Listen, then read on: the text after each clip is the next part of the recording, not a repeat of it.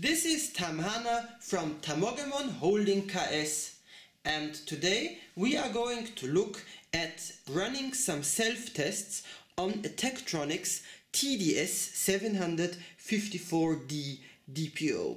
Essentially the process is much the same for the entire generation so if your serial number doesn't look exactly like this there is no need to worry. The first thing these DPOs tend to have problems with the display.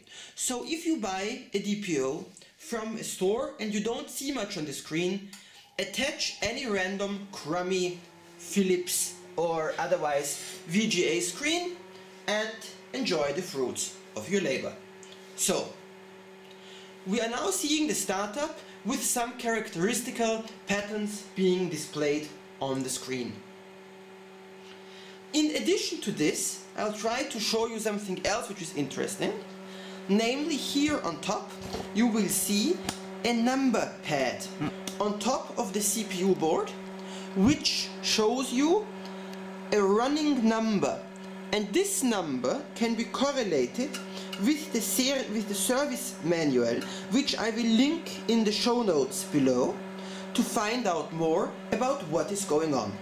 Well, in the meantime, our DPO has completed the booting cycle and shows us, having started up successfully, its error log.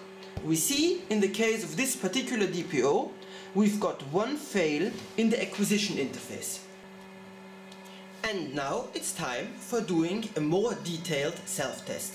Press Shift and Display to get into the diagnosis and self-service menu which looks approximately like this. And then simply push the buttons below the screen until you get to the Diag or R menu. Make sure you have select all selected push execute and say run.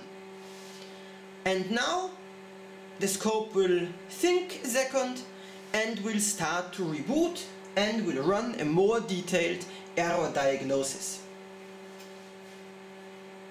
As we can see here. This reboot is completely normal. The Tek will always reboot when doing a self-test. It's not, not anything which you should be concerned about. What you should, however, be concerned about is what happens after it boots up because then it will normally, I am emphasizing normally, display a list of problems which have occurred. Ours has a memory problem which I yet have to debug and very soon we'll hear the scope complain about it.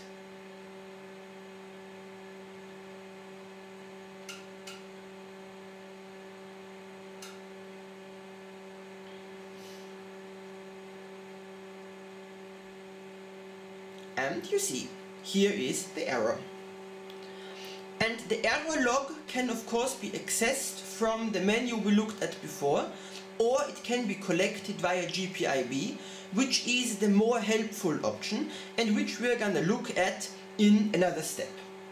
One more little bit of advice for all those who are looking at the error log you will see you cannot scroll to the left and to the right, only up and down when you are viewing on the scope. And furthermore, you must know that the latest data isn't always put in at the bottom. You see here, the new memory errors are here, whereas some other data is much below.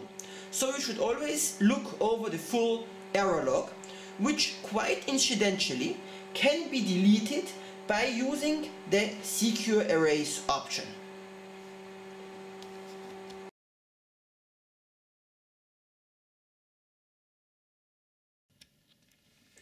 And then one final gotcha, which I'm showing mainly for the benefit of my friend Ice-T from EEVblog.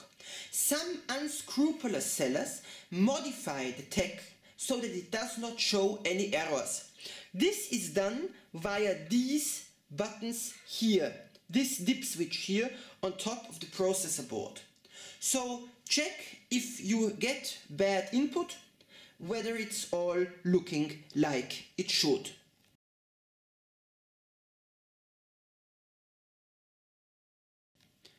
And with that, the first installment of TDS 754D analysis is over.